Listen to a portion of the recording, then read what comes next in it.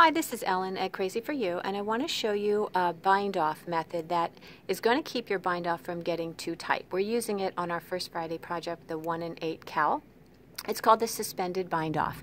And you're going to start as you would a normal bind off with your two stitches on your right hand needle and lift that first stitch up and over and off. But rather than dropping that stitch that you've just lifted over, keep it on your left needle and go in and make your second stitch.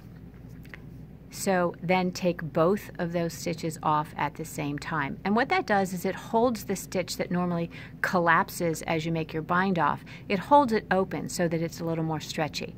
I'll show you that again. Up and over, make your next stitch, and take them both off at the same time. Up and over, make your next stitch, take it off at the same time. So if you're going back and forth from knit and purl, you're going to want to drop that stitch off so that you can bring your yarn forward. And I'll show you what this looks like purlwise. Two stitches, up and over. You're going to come forward and make your purlwise bind off. You're getting closer to me. Sorry. I have my camera person, Ginny, here. So let's, let's look at purlwise once more. We're working in the front, purlwise,